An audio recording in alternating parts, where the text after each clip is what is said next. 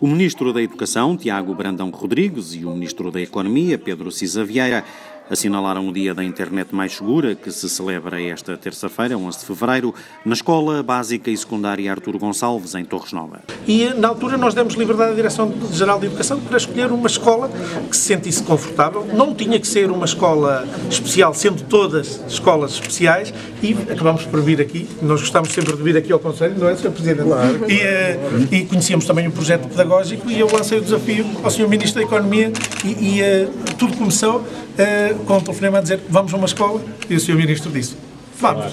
Mas, acima de tudo, aquilo que mais é importante não é o edifício e os equipamentos, são os professores e a comunidade educativa. E aqui a gente vê uma escola que está viva, uma escola que está atenta aos problemas atuais e do futuro, com professores muito mobilizados à volta.